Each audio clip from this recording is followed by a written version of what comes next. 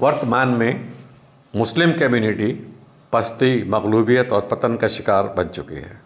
یا یوں کہا جائے تو زیادہ قابل فہم۔ اس طرح سے کہیں تو اچھا ہوگا کہ آج کی مسلم کمیونٹی، جس کی تعداد لگ بھگ ایک سو پچاس کروڑ سے زیادہ ہے اور چھپن دیش اپنے نام کیے ہوئے ہیں، دنیا کی سب سے زیادہ برباد قوم ہے۔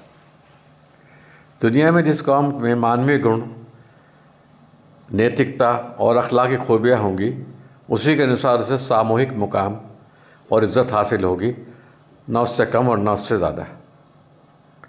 قرآن یہ نہیں کہتا کہ تم ٹریڈیشنل عبادت چھوڑ دو گے تو ذلت اور رسوائی میں مبتلا ہو جاؤ گے، بلکہ قرآن کی سورہ یونس کی سوویں آیت اور سورہ رات کی گیارہویں آیت میں اس کا سدھانت بیان کیا گیا ہے کہ جب تک یہ قوم سائنٹیفک سوچ کو نہیں اپناتی اور نیگیٹیو مائنڈ سیٹ کو اپنے سے دور نہیں کرتی تب تک اس قوم میں مانوی گن آ ہی نہیں سکتے جن کے آدھار پر اس دنیا کی قیادت حاصل ہوتی ہے۔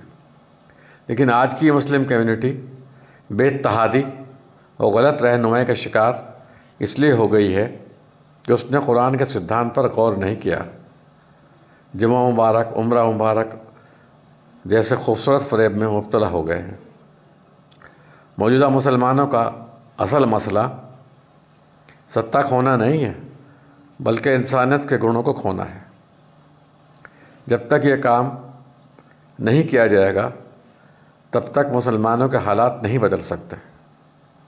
کوئی بھی دوسری کوشش، چاہے وہ کتنے بڑے پیمانے پر کی جائے، مسلم کمیونٹی کا سرونی بھوشیہ کا نرمان نہیں کر سکتی۔